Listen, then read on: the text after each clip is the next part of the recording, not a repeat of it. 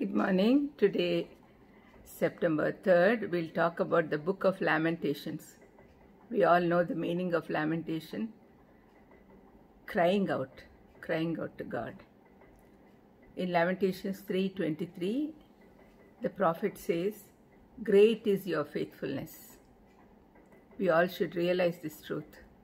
His faithfulness is great, and so our faithfulness also should be great. We should have real faith in God and show our faithfulness to others in this world. Lamentations describe the funeral of a city. It is a tear stained portrait of the once proud Jerusalem, now reduced to rubble and ashes by the invading of Babylonian hordes. Lamentations, perhaps the saddest book of the Old Testament, is penned by the mourning Jeremiah after the fall of Jerusalem. In five dirges of death, dirges means poems, Je- Jeremiah expresses the horror and helplessness of seeing the Jewish proudest city reduced to rubble. Defeat, slaughter, and ruination, the horrors so long promised and so frequently ignored, now fall from the hands of the brutal Babylonians. And yet, even as the prophet's heart breaks, he pauses to proclaim the ringing testimony of deep faith in the goodness and mercy of God. Though the situation that time was bleak with judgment, the future sparkles with the promise of renewal and restoration, a promise as certain as the dawn. That's the reason that he said, Great is your faithfulness. We all need to say this with confidence. Yes, we all should understand it. Lamentations feature six major three themes, all linked with the concept of suffering of the people. We'll see them one after the other.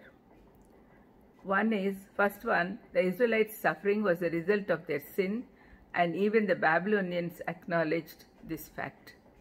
Jeremiah 40, third verse.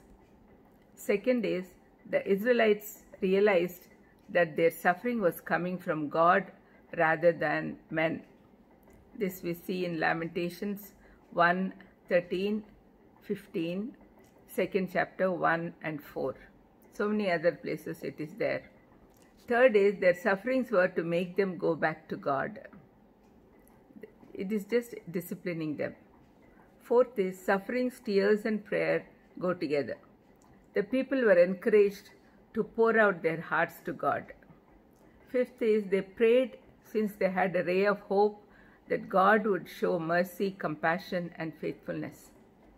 Sixth is their responsibility was to submit to their sufferings patiently as they knew God's will would be established. Divine grief over the sins of Israel, we see this in uh, Lamentations 2 1 to 6. These verses remind us that the Holy Spirit was and still is often grieved by our behavior, as said in Isaiah 63:10. Repentance is also work of Holy Spirit. At the present times, we need this repentance and divine, divine grief over the sins of the world. Let's pray. Lord, help us to realize that our present condition resembles that of Jerusalem, and we need to pray for ourselves and also the nation and all the people around us who are going against God's will. Please, Lord, help us to have the burden that Jeremiah had. In Jesus' precious name I ask. Amen. God bless you.